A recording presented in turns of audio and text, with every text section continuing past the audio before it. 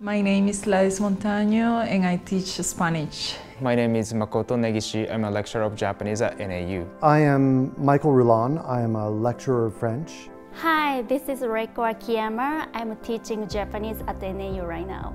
So my favorite expression in Japanese is narau yori narero. Amo los idiomas.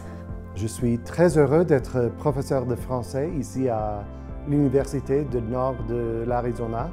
I think learning language and its culture expands your perspectives and knowing other culture helps you to think differently. The world is so global Our world is rapidly globalizing. that it's important for you to know another language so you can show that you know something other than your culture. You know something outside your comfort zone. But in order to master your what you have learned, you need to apply it and use it in order to master it. And learning a language and the cultures associated with that language help us understand the world better. So it helps you to be a critical thinkers.